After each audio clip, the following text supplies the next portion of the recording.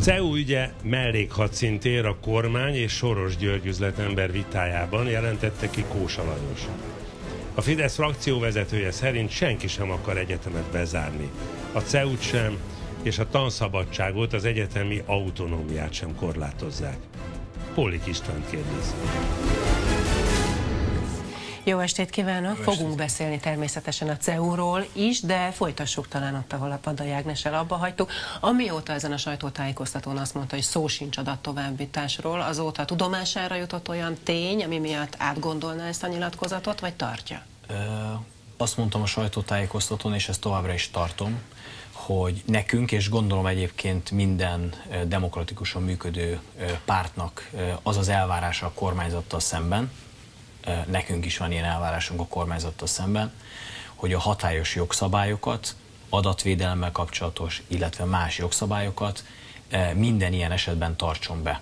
A nemzeti konzultációnak az online része sem kivétel ez alól, tehát abban a tekintetben is minden szabályt be kell tartani. A kormány korábban is betartott minden ilyen szabályt, és most is betart minden ilyen szabályt. Én biztos vagyok benne, hogy a jövőben is be fog tartani minden ilyen szabályt. De ehhez tehát aki hangulatkeltésre, tehát nála, de Vadai Ágnes néztem, hát amikor megkérdezte, hogy pontosan miről is van szó, hát maga se tudott válaszolni, azt mondta, hogy nem érte ez a kérdéshez. Ő, én ő azt, azt gondolom, mondta, hogy ő nem egy cyberszakértő, én se vagyok az, belátom, de azt, láttam, de azt láttam, hogy a sajtóban olyanok, akik értenek hozzá, azok alapos kódsorok közétételével és mindenféle, legalábbis az én laikus szememnek meggyőző bizonyítékkal alátámasztották, hogy valóban itt arról van szó, hogy egy olyan orosz kód fut ezen az oldalon, amiről kimutatható, hogy továbbít, hogy van adat továbbítás Oroszországba, az is kimutatható, hogy azok a név, az e-mail cím és azok az adatok, amiket megadtak az emberek ezen, a,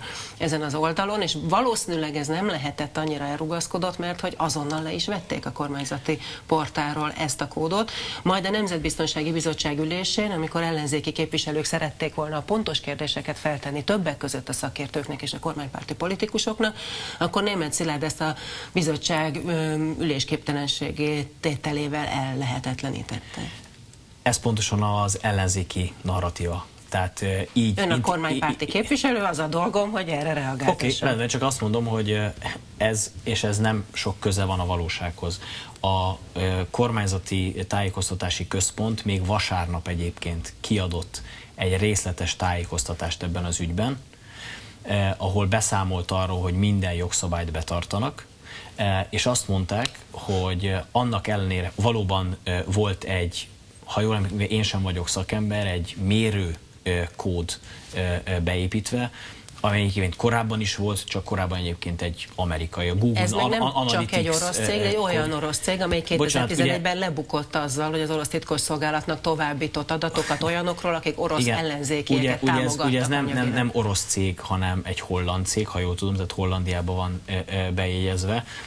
De még egyszer mondom, nem tudok másból kiindulni, és egyébként ebben a tekintetben nagyon köszönöm Vadai Ágnesnek e, a feljelentését, hiszen az az ügyben e, minden tisztázni fog. Ezért nagyon köszönöm neki, hogy följelentette a, a bizottság előtt nem sikerült, akkor Bocsánat, hogy a, a bizottság előtt sem az az igazság, amit ö, ö, ö, ahogyan ön interpretálta itt a, az ellenzéki vádakat, hiszen arról volt szó, hogy abban állapodott meg a bizottság, hogy egyébként egy ilyen ügyben a tényeknek ismeretében kell lenni. Ez fel kell készülni minden szakembernek, és azt mondták, hogy a következő bizottsági ülésen, amikor már felkészült lesz mindenki, ezt, akkor ezt egyébként jó, hát napirendre hát, fogják Akkor ezt tűzni. kíváncsian várjuk, és majd mi is visszatérünk rá. Egyetlen egy kérdést tennék még fel ebben Igen. a témában, mert aztán tényleg jó lenne rátérnünk a CEU-ra, meg akár a Gyorskocsi utcára, mert mutatjuk most is közben a nézőknek a képeket, de egy pillanatra használja a fantáziáját. Ha most szocialista kormány lenne, és ön ellenzéki KDNP és Fideszes képviselő lenne. És van egy ilyen történet az orosz kóddal,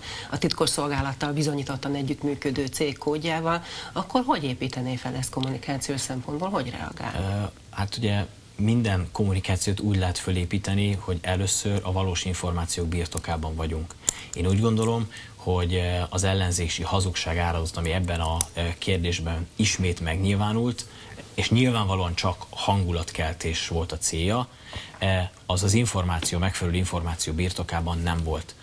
Én sem vagyok, hiszen én nem vagyok kormányzati tisztségviselő, én az elvárásomat tudom tisztázni. Az én elvárásom az, hogy minden jogszabálynak feleljenek meg. A kormányzati tájékoztatási központ szerint megfeleltek. Én ezért mondom még egyszer, köszönöm, hogy Vadai Ágnes feljelentette, hiszen az az ügy majd tisztázni fogja, csak remélem egyébként, hogy ilyen hangulatkeltéssel, amit e- az elmúlt két, két percben itt művelt, majd azután a per után, hogyha kiderül, hogy egyébként a kormány semmi törvénytelent nem tett, akkor majd bocsánatot fog kérni. Jó, hát ha jól értem, akkor egyelőre ön sem tudhatja, hogy az ellenzék hazudik-e, hiszen ön is most mondta, hogy ön sem ért hozzá, és nincs tisztában a tényekkel. Még az is lehet, hogy van igazság. Bocsánat, én, én, én, azokkal a tényekkel tisztában vagyok, amit a kormányzat e, nekünk elmondott. Jó, és, ha, és ha jól értem, akkor ha mondjuk ezt egy Gyurcsány kormány volt, mondta volna a többek között az ellenzéki Hollik Istvánnak, akkor elfogadta volna ezt a magyarázatot. Ha tények azt mutatják, akkor igen. Térjünk rá a CEU ügyére, ami ugye a legmagasabban rangsorolt nemzetközi egyetem. Több olyan képzése van, ami benne van a világ legjobb 50 között, van, ami a világ legjobb 200-ában, miközben a többi magyar egyetem a legjobb 500-ban sem nagyon tud bejutni. Tényleg egy ilyen intézményt kell ellehetetleníteni? Ki szeretné ellehetetleníteni? Tehát például a magyar kormány amikor hoz egy olyan törvényt, amiről egyértelműen látszik, és az amerikai kormány is egy, és a, és a Magyar Országgyűlés hoz egy törvényt a magyar miniszterelnök és a magyar kormány és a magyar kormánypárti képviselők akaratából. Igen. Miről szól ez a törvény? Nézzük először meg ezt. Tehát ön szerint nem szól a törvény arról, hogy ellehetetlenítsenek egy konkrét intézményt? Az a helyzet, hogy azért nehéz ebben a kérdésben higgadtan nyilatkozni, én megpróbálok így tenni, hiszen aki ismeri a törvényt, e, illetve hallotta az ezzel kapcsolatos kormányzati, illetve kormánypárti megnyilatkozásokat, annak szerintem az elmúlt napban legalább tízszer kellett azt hallania, hogy nem célunk bezárni egyetlen Magyarországon működő külföldi egyetemet, ugye 28 ilyen van, ebből egyébként csak egyik e, a Közép-Európai Egyetem, tehát a Soros Egyetem, van másik 27, e, ami itt működik, tehát nem célunk. A tanszabadságról ebben a törvényben szó sincsen. A tanszabadság, a tanítás, az oktatásnak a szabadsága az egy alaptörvényben garantált jog Magyarországon. Az alaptörvényt nem módosítottuk. Ön szerint módosítottuk?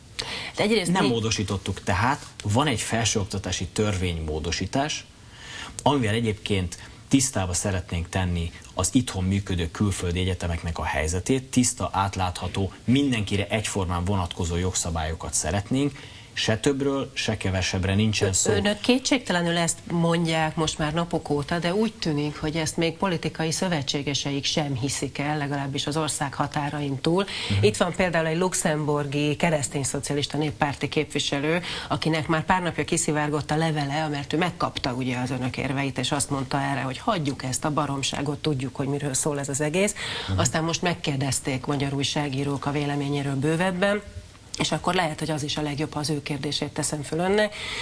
Úgy fogalmazott, hogy miután meghirdette, hogy 2017 arról fog szólni, hogy soros szellemiségét kiűzze Magyarországról, miért próbálkoznak egyáltalán azzal, hogy elmagyarázzák a törvény mellett objektív érvek szólnak, miközben az egyetlen célja soros egyetemének bezárása. Legalább vállalják fel a kedves vezetőjük politikai iránymutatását, ugye Orbán Viktor mondta ki ezt nyíltan.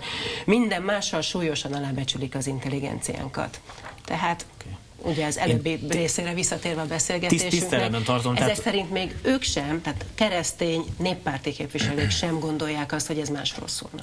Tehát most találtak egy olyat, aki így gondolkodik, de másik 600-at, aki egyébként úgy gondolja, hogy a, először a tények birtokába kell kerülni, például ugye e, e, a többi Európa parlamenti, vagy az Európai Néppárti képviselőt. Az Európai Néppárt frakcióvezetője Manfred Weber Igen, akivel követett, utána egy órát, vizsgálja egy meg órát a törvényt, beszélt. a Néppárt elnöke is írt erről, van, és egyébként azt mondta, ez az előbbi Manfred idézet. Weber egy órát beszélt telefonon Orbán Viktor miniszterelnök úrral, abból a célból tették ezt meg, hogy egyébként Manfred Weber is a konkrét törvényjavaslatról e, tudomást szerezzen, az abban szereplő dolgokról tudomást szerezzen, és e, külön tudja választani azokat, amit állítanak erről a törvényről, és nincs benne a törvényben, azoktól az információktól, amelyek meg benne vannak a törvényben. Ez megtörtént. Én azt gondolom, hogy e, dolgunk az egyébként, hogy az Európai Néppártban is elmondjuk mindenkiről, mindenkinek, hogy miről van szó. Na de és mennyire bocsánat, hiteles ez, hogy egy, teljesen technikai kérdésekről van szó, miközben ugye maga Orbán Viktor jelenti be, hogy soros kiszorításának évére készül. Ha Harrak Péter arról beszél, hogy itt egy hadseregről van szó, akik a Soros Egyetemen képeznek. Gósa Lajos meg azt mondja ma reggel egy másik televízióban, hogy mindez csak egy mellék hadszintér a magyar kormány és Soros György küzdelmében. Tehát a kormánypárti vezető politikusok maguk nem tesznek úgy, mint amit ön most itt az előbb megpróbált állítani, hogy itt csupán arról van hogy hogyan ha vannak ad nekem 30 másodpercet, amikor nem vág be el a szavamba, akkor megpróbál elmondani, hogy mi a helyzet.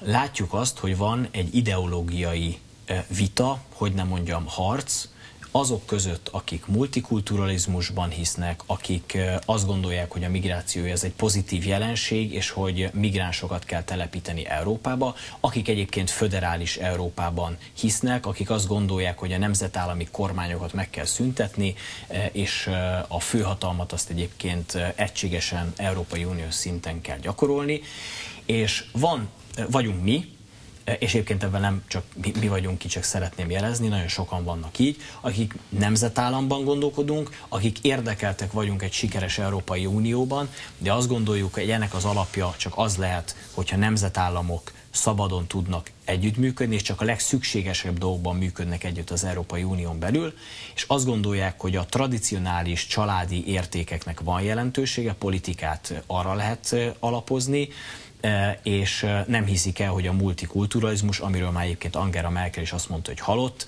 e, az egyébként működőképes lenne, és nem szeretnek migrán, meg nem szeretnének migránsokat látni az országban. Ezen jól ez a két ideológia, de ezzel nem azt mondja, bocsánat, hogy mégiscsak, hogy ez egy ideológiai nem, nem, kérdés a CEU-jé? Mondom, ha tovább mondhatom, akkor eljutok oda is. Az látszik, hogy itt van egy ideológiai küzdelem. Ők szeretnék, hogy migránsok jöjjenek, mi pedig nem szeretnénk. Ez egy ideológiai küzdelem. Van ennek köze Ettől, a bocsánat, bocsánat, éppen ezt mondom, hogy a CEU-nak nincs.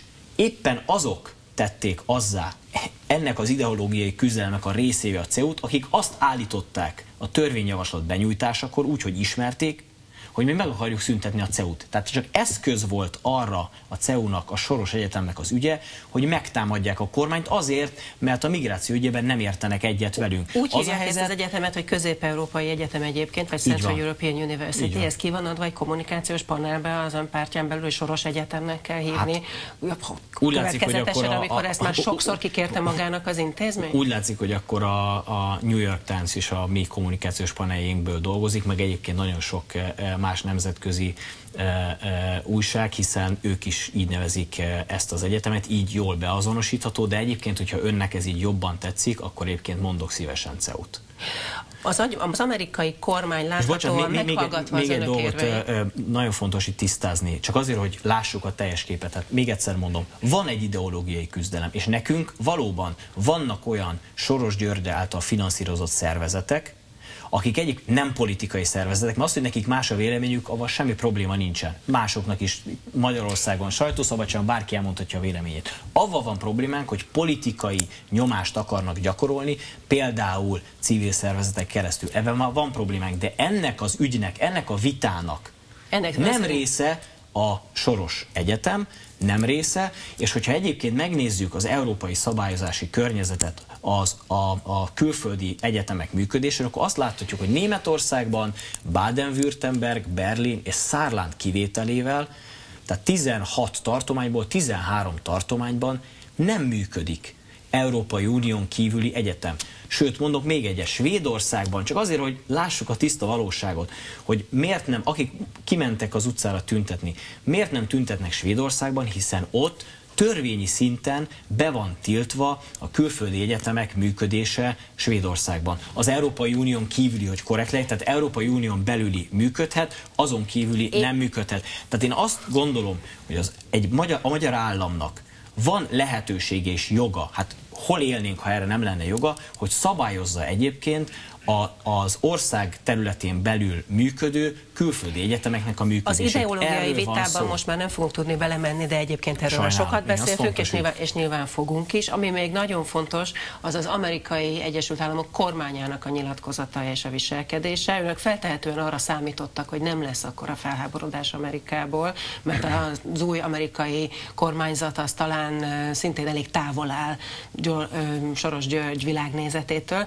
Ehhez képest ők teljesen teljesen egyértelműen politikai támadásnak fogják fel ezt az egészet. Kétséget nem hagynak a nyilatkozataik, hogy egy percig nem hiszik el az oktatásra és a technikai hmm. kérdésekre vonatkozó magyar kormányzati magyarázatokat, és ide jött személyesen a térségünkkel foglalkozó helyettes államtitkár kifejezni, hogy amit önök kérnek az Egyesült Államok kormányától ebben az ügyben, az lehetetlen, nem fog megtörténni, és azt várják önöktől, hogy az egyetemben rendezzék ezt a kérdést megnyugtatóan, mégpedig úgy, hogy az egyetem maradjon. Akkor hadd idézzem, a, ez is egy értelmezés, szintén az ellenzéki értelmezés, én hadd mondjak egy másikat. Ma adott interjút a egyetem rektora, és ebben, csak hogy szó szerint idézzek, az van benne, újsági kérdésre azt válaszolja, hogy nézze, a mi létünk nem forog veszélyben. Örülök, hogy a rektor úr ezt kimondta, tehát ma már a CEU rektora is azt állítja, hogy ez a törvénymódosító javaslat, ez nem arról szólt, hogy őket el lehetetlenítsék. Nem ennyire egyszerű, amit ő állít, de most abban a ennyire szerencsés egyszerű, helyzetben és egyébként vagyunk. abban az interjúban azt is állítja, hogy beszélt New Yorkkal, és New York egyébként nagyon szívesen megállapodik Magyarországa. Magyarország is nagyon szívesen megállapodik New Yorkkal. Csak hogy ugye egy államközi szerződést kérnek számon, nem pedig a, a New York a törvényjavaslatot tudja jól, hogy New York állammal is lehetőségünk van a... szerződést kötni, csak a nemzetközi jog szabályai szerint egyébként a szövetségi kormányzattal abban kell együttműködési megállapodást kötni, hogy egyébként megköthessük a konkrét megállapodást a, CEU egyetem működéséről New York államban. Tehát van lehetőség, ezt mindenki jól tudja. New York állam és magyar kormány, a magyar miniszterelnök is többször elmondta, mi nyitottak vagyunk a tárgyalásra, ma a miniszterelnök úr egy miniszterelnöki biztost is kinevezett Altus Kristóf személyében, tehát mi nyitottak vagyunk, jó szándékul állunk, állunk a tárgyalásokra. Én azt gondolom, a Magyarország, Amerika és a CEU is érdekelt abban, hogy megállapodás legyen. Én éppen ezért bízom abban, hogy lesz is. Mi pedig abban a szerencsés helyzetben vagyunk, hogy Michael Ignatieff rektor úr egyébként itt volt még ma délután, és adott egy hosszú interjút ennek a műsornak, úgyhogy egy rövid reklámszünet után mindjárt láthatják, hogy ő hogy látja ezt a helyzetet, nem ilyen egyszerűen egyébként, mint amit az előbb idézett tőle. Mindjárt jövünk.